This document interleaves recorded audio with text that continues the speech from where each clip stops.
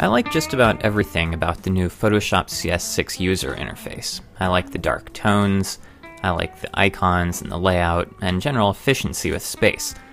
But as a Windows 7 user, there's one thing that really bugs me, and that's the File Open dialog box. Luckily, it can mostly be fixed. When you used the File Open dialog in Photoshop CS5, it looked something like this.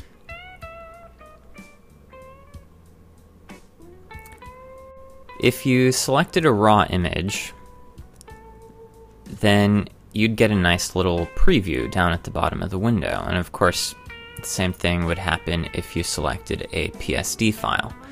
You'd get a little image preview. But take a look at CS6. When I open a folder of raw images from the File Open menu, this is what I get. A bunch of generic icons, and if I click on one, the preview window is gone. If I wanted to select a particular image out of this folder, I'd pretty much have to have memorized the file numbers, and that's not very helpful. Now, I'm sure that our friends at Adobe did this with the assumption that if we needed to browse through images,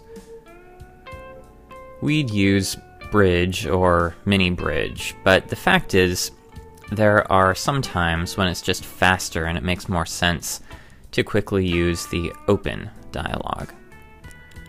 For Mac users, this isn't a problem. The operating system can generate thumbnail images from RAW files, so they don't need a preview window. So, what can Windows users do? Well, the solution is actually pretty simple. Begin by pulling up a browser window and going to the Microsoft Download Center and looking for the Microsoft Camera Codec Pack. I'll put a link to this page down in the video description so it should be easy to get to. Installing this file will allow Windows to create preview images from raw files created by a lot of popular cameras.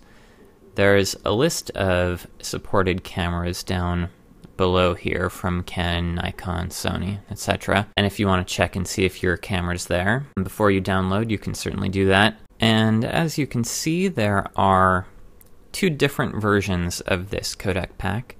The one on top here with the 64 in the title is for 64 bit versions of Windows, and the one below it is for older 32 bit versions. And all you need to do is press download and follow the instructions. Uh, once you download the file, you just run it, and uh, it's very simple, quick install and then you will have to reboot Windows. And uh, now, with my computer rebooted and Photoshop open again, if I go to the Open dialog, all of these raw files now have nice little previews. And as you can see, they generate quickly, almost instantly. Of course, that'll probably depend on your computer to some degree. Unfortunately, we still don't have any previews of Photoshop files, but just having previews for RAW files is a big help. Alternatively, or additionally, I guess, um, you can use Mystic Thumbs, which will do the same sort of thing. It will give you thumbnail images from um, RAW files, but it will also give you thumbnails from uh, a whole bunch of other different types of graphics programs, including Adobe Illustrator, Photoshop, um, and a bunch of 3D programs. The only real downside here is that the program isn't free. It does have a $25 license fee for personal use, and it's a little bit more expensive for professional use. Not too bad, all things considered, but it's sometimes hard to spend extra money on something that probably should have been in the operating system or Photoshop to begin with.